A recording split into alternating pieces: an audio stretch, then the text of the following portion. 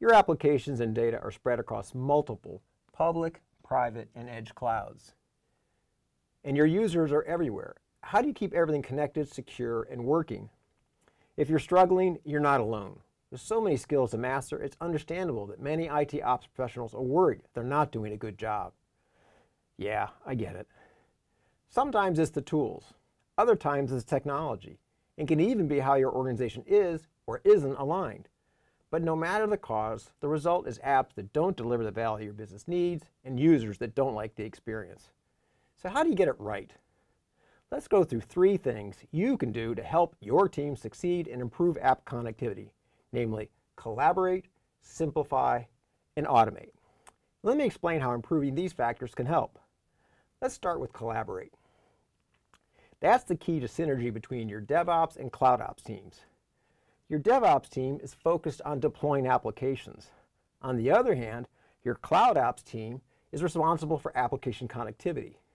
You need to remove the silos between DevOps and CloudOps and help them collaborate. Of course, your team has different roles and different performance metrics, but everyone has one common goal, making sure applications can run smoothly and securely. So instead of separate teams using separate tools, they need one solution to collaborate. A shared experience, like a common dashboard, can make a huge difference. Next up, simplify. You need to simplify the connectivity of sites and users to your apps that are deployed on any and all clouds. Let's say you have a new business application and it must be deployed in multiple cloud locations as well as on-prem. Having a solution that lets you deliver simple, secure, and predictable application-centric connectivity is critical.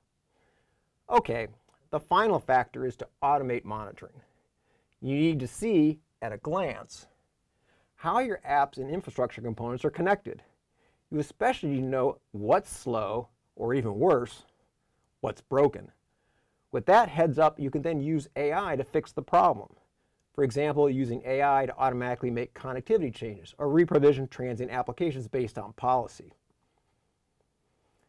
Let's face it, it's no surprise to say we live in a highly distributed world and cloud technology plays an increasingly important role in it.